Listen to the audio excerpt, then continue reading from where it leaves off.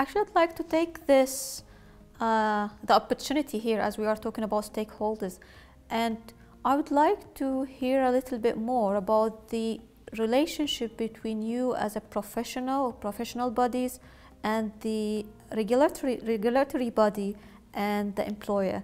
This three pillars of a profession seems to be very important and it's not yet existing in policing but I'd like to and to have a little bit of uh, feedback reflection about the relationship between these three so um, the employers of nursing of, of nurses uh, are, are, are the employers um, nurses work for though for predominantly the, N the NHS yes. in, in the UK, but also the private independent voluntary sector. Um, and the employers essentially will look to um, the regulator to ensure that the people they employ mm. are fit and sound. Yes. Um, and they have the opportunity to report poor practice or unsafe practice to the regulator. But the regulator, in essence, regulates the profession. Um, the, there's an interesting relationship, I think, in nursing, and it is quite a bit different to, to paramedic. I'm sure Bob will explain that in a moment. But um, in nursing, we, we have something called the Royal College of Nursing, mm -hmm. which is a professional body and therefore has a, a number of professional interest groups, um, but is also a union. Yes. Um, uh, there's some tension in the way that that gets played out, yeah. I, would, I would suggest.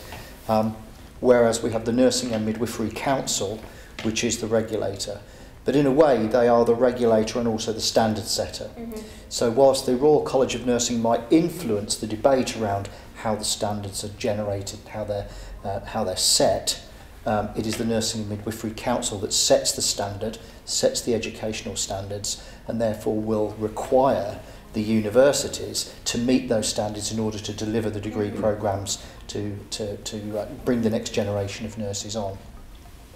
The regulatory element of it is also then that, that if you like, the, the policing, if I can use that term, yeah, yeah. the sort of policing, if you like, of the profession. So the removal of people from the register, yeah. allowing people, holding the register, making sure that um, th those standards are, are applied. Mm -hmm. So, it, and, and that is quite unique, I think, for mm -hmm. nursing. It's a bit different in what I would call the allied yeah. health professions, of which paramedic is, is mm-hmm. one. Mm -hmm. We have the Health and Care Professions Council, who are the regulator, yeah. as Steve has said, and there's uh, a number of professions that work under their their wings, if you like, the sort of protection. But as I said earlier, they are there to protect the public. Mm. They're not there to protect the individual. Yeah. Um, if you do something that's not right, you normally go down two potential routes. One is about conduct, and conduct is a more serious offence than if you um, make an error. So if I do something that's silly, it's something to do with I, I, I should have known better, I could be educated, then that doesn't normally remove me from the register. That normally gives me extra training and support and development. Mm. But if I'm a liar or a cheat or I'm going to do wrong things to people and hurt people deliberately or you know then that's conduct and that can cost me my registration and can cost me my job and career.